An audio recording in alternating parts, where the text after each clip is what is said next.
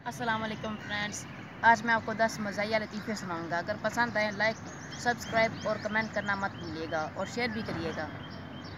Number one एक मुर्गी ने कब्बे से शादी कर ली और फिर मुर्गा आके कहने लग गया कि मेरे से क्यों नहीं की? तो मुर्गी ने जवाब दिया, करनी शादी तुम्हारे साथ ही थी, पर घर वालों की ख्वाहिश थी कि लड़का पायलट हो।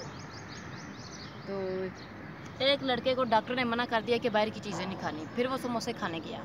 तो उसने समोसे तोड़ के अंदर से बस आलू निकाल के खाया रख दिया।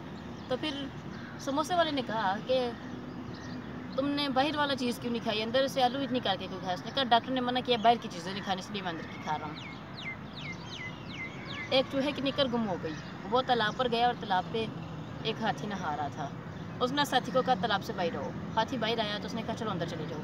हाथी बड़े गुस्से से कहा कि मेरा टाइम क्यों ज़ाया किया उसने कहा कि मेरी निकर गुम हो गई थी और मैं देख रहा था तुम कहीं मेरी निकर पहन के तो नहीं नहा रहे। नंबर फोर एक पठान का गधा गुम हो गया। और फिर वो गधा ढूंढता ढूंढता अचानक एक पार्क में आ गया। फिर वो पार्क में गया ना तो उसने देखा एक लड़का अपने दोस्त के साथ बैठा हुआ और मज़ाक से उसे कहने लग गया कि मुझे तुम्हारी आँखों में सारी दुनिया नज़र आ रही है। पठान ने आके कहा, भाई देखो मेरा गधा नज़र आ रहा है।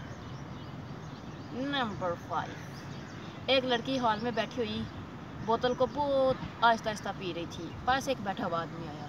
उसने वो बोतल उससे खींची और एक ही एक ही घूट में सारी पी गया फिर उसने कहा कि तुम इतनी आहिस्ता आहिस्ता क्यों बोतल पी रही थी? उसने कहा, मैं तो पान थूक रही थी। एक शोर, एक बीवी ने अपने शोर से कहा, मुझे कोई दो बातें ऐसी कहो कि एक से मुझे बहुत गुस्सा आए और एक से मैं बहुत खुश हो जाऊँ। उसने कहा, चलो ठीक है, पहली बात तुम जब मेरे साथ होती हो तो ज़िंदगी मेरी बहुत खूबसूरत है। दूसरी बात लानत है ऐसी ज़िंदगी पे।